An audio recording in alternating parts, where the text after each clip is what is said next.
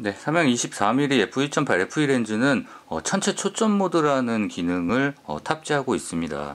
이 포커스 고정 버튼을 누른 상태로 전원을 어, 켜게 되면 이쪽에 LED 인덱스가 깜빡거리면서 빨간색에서 이제 초록색으로 이렇게 전환이 됩니다. 그러면은 MF로 자동으로 전환이 된 상태가 되고요.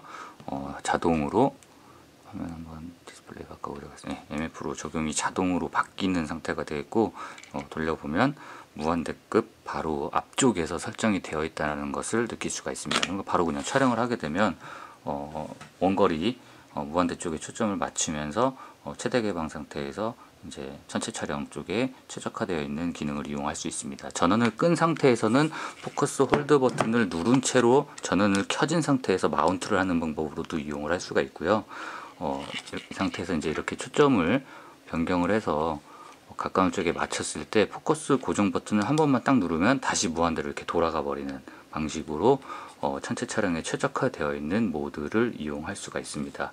이 상태에서는 예를 들어서 접사 오히려 나는 천체를 많이 이용하지 않고 이렇게 접사 쪽을 오히려 더 많이 사용한다. 그러면 해당 기능을 초점을 이렇게 맞추신 상태에서 focus hold 버튼을 3초 정도 누르게 되면 이 피롬에 다시 기록이 되면서 이번에는 원거리 쪽에 설정을 했을 때도 한 번 누르면 다시 설정된 가까운 쪽에 제가 지정을 해놓은 값으로 변경이 이렇게 바로 되어주는 이런 기능들을 탑재함으로써 전체 촬영 모드라고 이름이 적혀져 있지만 사용자 초점 거리 구간을 사용자가 임의로 설정할 수 있는 그런 기능을 제공해주는 어, 기능을 탑재했다라는 약간 어, 신기한 새로운 기능이 적용이 되었다라고 보시면 될 것 같습니다.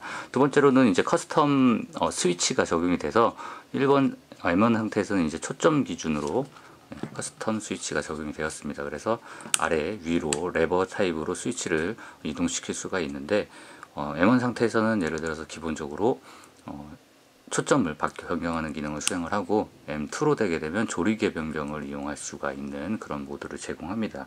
이쪽에서는 초점 Lens Station을 이용했을 때 이 M1과 M2의 기능을 변경되는 기능들을 제공해 준다라고 제조사는 밝히고 있는데 향후에도 다양한 다른 기능으로도 바꿀 수 있도록 어, 설정한 예정이라고 합니다.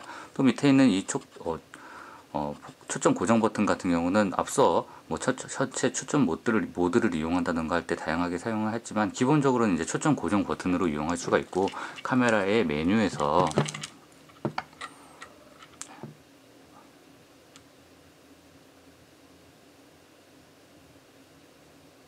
네, 사용자 정의 키를 보시게 되면 이렇게 렌즈 부분이 있잖아요. IF를 탑재를 어, 적용을 했는데 뭐 초점 설정, 뭐 AF, MF 컨트롤 고정 을 비롯한 굉장히 다양한 기능들을 바디 사용하시는 바디에 따라 다릅니다.